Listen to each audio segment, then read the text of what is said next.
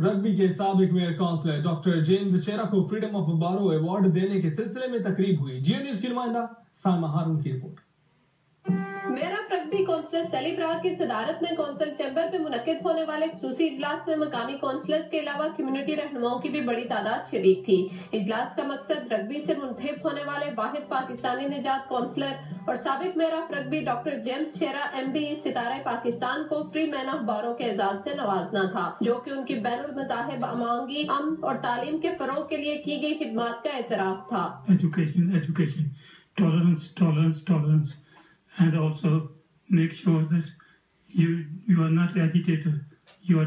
Conservative party के leader of council Mike Stoke की जानब ऐसी पेश की गई इस करारदाद को लेबर और लिबरल डेमोक्रेट पार्टी के तमाम अरकान के मुकम्मल हमायत हासिल थी जो की उनकी कम्युनिटी में मकबूलियत की अक्सी है।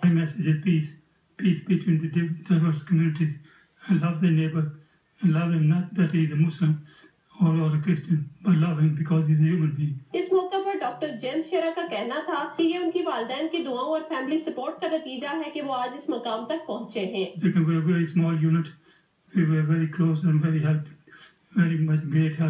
अगरचे कुछ अरसे से वो पार्किंसन के मर्ज में मुब्तला है ताहम आज भी वो पाकिस्तान और बरतानिया के बामी ताल्लुकात की मजबूती के लिए हम वक्त कोशा है। एक दूसरे के साथ मिलजुल के काम करें तजारत बढ़ाएँ एजुकेशन सेक्टर में ज़्यादा कोलेबोरेशन हो। यूथ हमारी जो है दोनों साइड के could benefit peace could be only broad in in the region इस मौके की मुनासबत से वज़ीर आज़म पाकिस्तान नियम मोहम्मद नवाज़ शरीफ ने भी खसूसी तौर पर डॉक्टर जैम शेरा को मुबारकबाद का पैगाम भिजवाया। सामा हारून, जियो न्यूज़, रग्बी।